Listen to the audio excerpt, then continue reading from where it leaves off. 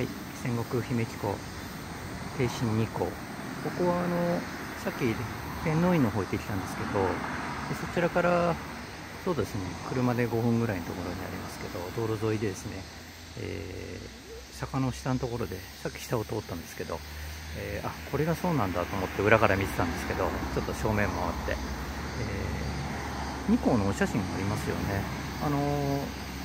木造だと思いますけども、まあ、珍しいんですよね、えこちらではね地元で結構慕われてたというところで、えーと、小さな祠というか本当に神社なんですけどもまあ、ちょっとお参りをさせていただきました。まあ、あのニコについてはですね、天皇院の方で話してますんで、そちらをご覧いただければと思いますね。まあ、こじんまりした神社ですけど、やはりね、地元の方に、えー、崇拝されているという方っていうのは、こう神社とかね、立ちますよね。えー、ここに、帝神、右からですね、はっきり書いてありますよね。帝神神社と、はっきり書いてありますね。あこちらですね。帝神神社と右から読みますけどはっきり書いてあります、えー、天皇院と合わせて